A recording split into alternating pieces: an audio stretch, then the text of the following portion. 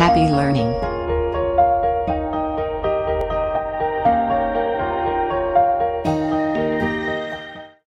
Hi, welcome to our Pharma Topics channel. Welcome to the 15th series of uh, the clinical research and pharmacovigilance. In this video, we are going to see about pharmacovigilance aspects in the national and uh, international context and the statistical methods for pharmacovigilance. Uh, the pharmacovigilance in Europe.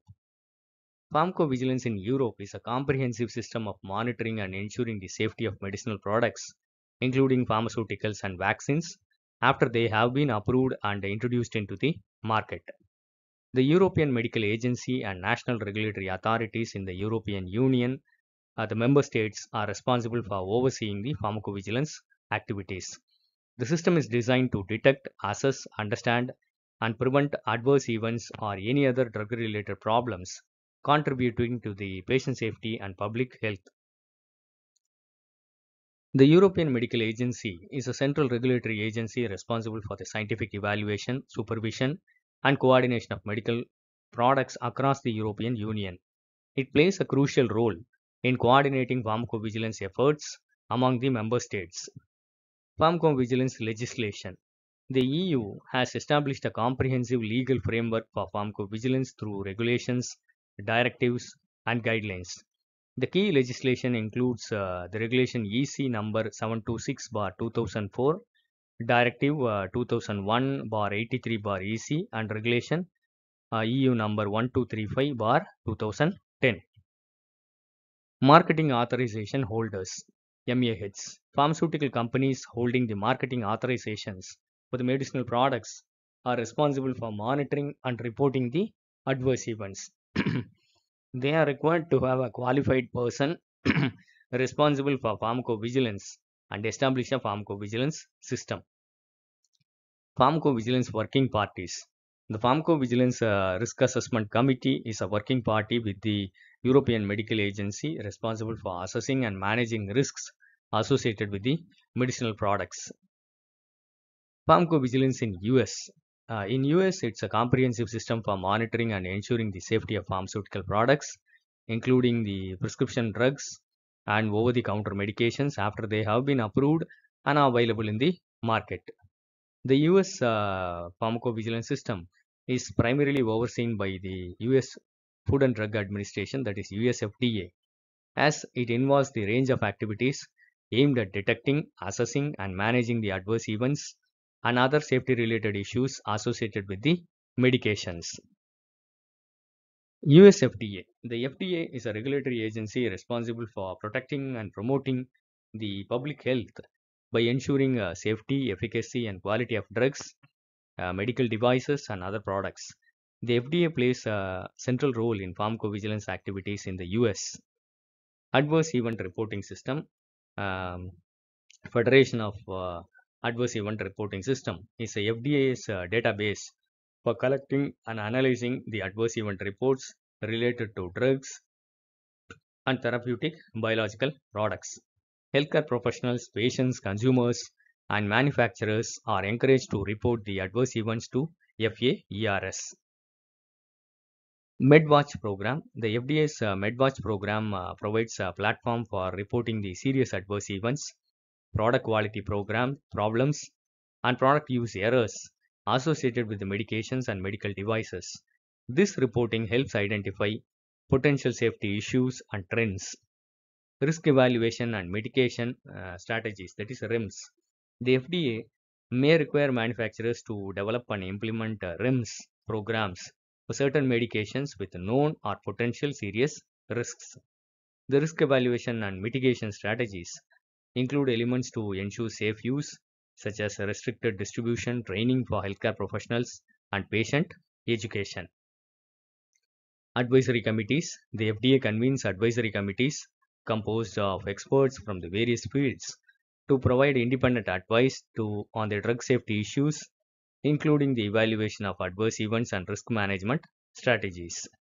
Safety labeling changes. The FDA has the authority to require Uh, manufacturers to update the drug labeling to include new safety information or warnings about the adverse events. Pharmacoepidemiology research. The FDA conducts pharmacoepidemiology studies to assess the real-world safety of medications by analyzing large healthcare database. Pharmacovigilance in UK. Pharmacovigilance in UK is a system of activities and regulations aimed at monitoring and ensuring the safety of medicines once they are approved and available on the market. The UK has a well-established pharmacovigilance net framework that involves regulatory authorities, healthcare professionals, pharmaceutical companies, and patients working together to detect, assess, and manage the risks associated with the medications.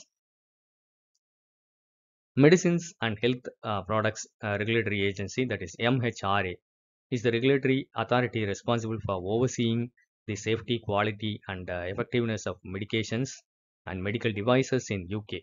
It plays a central role in pharmacovigilance activities. Yellow Card Scheme. The Yellow Card Scheme is the UK system for reporting the adverse events to the medicines. Healthcare professionals, patients, and consumers can report the suspected adverse events through Yellow Card website or app. The MHRA analyzes these reports to identify potential safety concerns. Clinical Practice Research Datalink. The CPRD is a research service that collects anonymized patient data from general practices across UK. It is used for pharmacovigilance research and pharmacoepidemiology studies. Signal detection. The MHRA uses data analysis and statistical methods to detect potential safety signals from adverse event reports and other sources. When signals are detected, further investigation is conducted to assess causality and determine the appropriate, appropriate actions. Risk minimization measures. The MHRA may require pharmaceutical companies, as in US, to implement uh, risk minimization measures for specific medications, such as additional warnings, restricted distribution, or educational materials. Pharmacovigilance Inspection Program. The MHRA conducts inspections of pharmaceutical companies to ensure compliance with the pharmaceutical regulations, guidelines, and effectiveness of their safety monitoring programs. Pharmacovigilance Public Assessment Reports. This is an initiative by the MHRA which publishes uh, the PVPAs that provide a detailed information about the benefit risk assessment of medicines based on available safety data. Advisory groups. Similar to US, uh, US, the MHRA collaborates with the advisory groups, expert committees, and manage safety concerns related to the medicines. European and international collaboration. The UK collaborates with the EMA and international partners to ensure the exchange of pharmacovigilance information and coordination of safety efforts. Pharmacovigilance in Australia.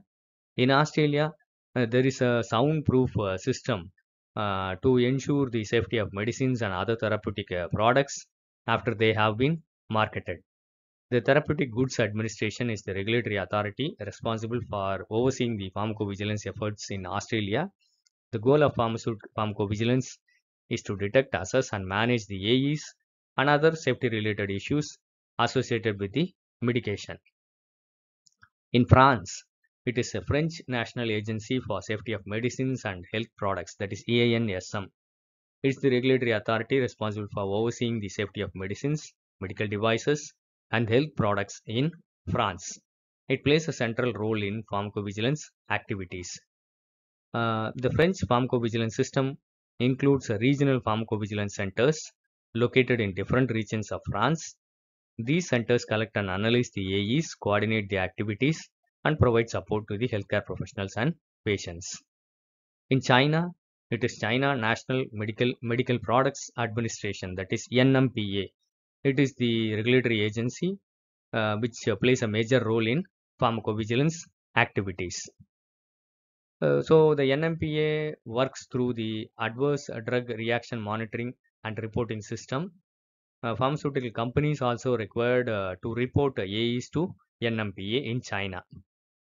In Japan, it is PMDA, Pharmaceuticals and Medical uh, Devices Agency. It's a regulatory agency responsible for safety, efficacy, and quality of the pharmaceutical products, medical devices, regenerative medicines, and other products in Japan. This uh, PMDA uh, works through adverse drug reaction information system that is ADRIS uh, and also required to the pharmaceutical companies also required to report uh, the AEs to PMDA which is similar to China. Adverse ADRIS is a national database uh, that stores and manages the adverse event reports and other safety related data. It helps identify potential safety signals and trends. In India, uh, the pharmacovigilance in India, the program name is uh, uh, the CDSCO program, National Pharmacovigilance Program of India, which is a part of IPC, that is Indian Pharmacopoeial Commission. The goal of pharmacovigilance is to detect, assess, and manage the AEs and other safety related issues associated with the therapeutic products and ensure the patient safety and public health in India. Let us see the statistical methods for pharmacovigilance.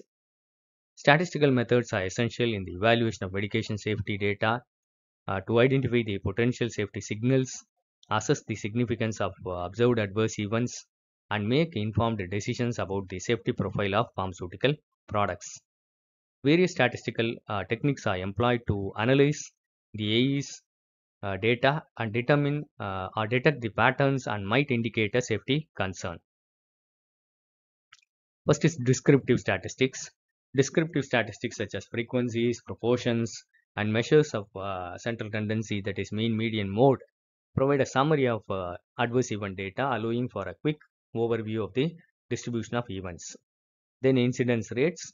Calculating the incident rates helps in determining the rate at which the AE occur in relation to exposure of the medication. So this can be useful for comparing the occurrence of the AEs across different population at different time points. Next is disproportionality analysis. This method involves comparing the observed frequency of a specific adverse event with frequency that would be expected based on the background rates. The most commonly used uh, tool for disproportionality analysis is the reporting the odds ratio or proportional reporting ratio. Chi-square test. It is used to assess the association between two categorical variables such as occurrence of an AE and use of a particular medication. It helps to determine whether the observed frequencies differ significantly from the expected frequencies. Then Fisher's exact test. Uh, this is used uh, when the sample size is small and chi-square test assumptions are not met. It's commonly a 2 into 2 contingency table to analyze the association between the variables. Cohort studies involve following a group of individuals who have been exposed to a medication and comparing the AEs with those of unexposed control group. This method helps to assess whether the medication is associated with the increased risk of specific adverse events. Then case control studies. Case control studies start with a group of individuals who have experienced a particular AE and compare them with a group of individuals who have not experienced the event, that is controls. The odds ratio is often used to assess the strength of association. Survival analysis. It is used when uh, the time to occurrence of AE is of interest. Kaplan-Meier curves and log rank tests are common tools for comparing the event-free survival between the groups, different groups. Bayesian data mining. Bayesian uh, methods use uh, prior knowledge uh, updated with the observed data to estimate the probabilities. Bayesian data mining uh, techniques can enhance the signal detection by incorporating information about the likelihood of an event and the medical exposure. Time series analysis. It is used to analyze the AE uh, data over time. It helps to detect the temporal patterns or trends in the occurrence of AE after exposure to a medication. These statistical methods are often used in combination to comprehensively evaluate the medication safety data.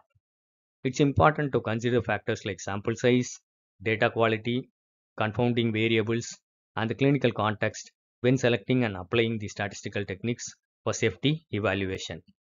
Additionally, regulatory agencies provide guidelines and recommendations for statistical analysis in pharmacovigilance to ensure standardized and reliable assessments of medical safety. So it's a very short information of the trends of the national, international uh, uh, scenario of the pharmacovigilance and the statistical methods for pharmacovigilance.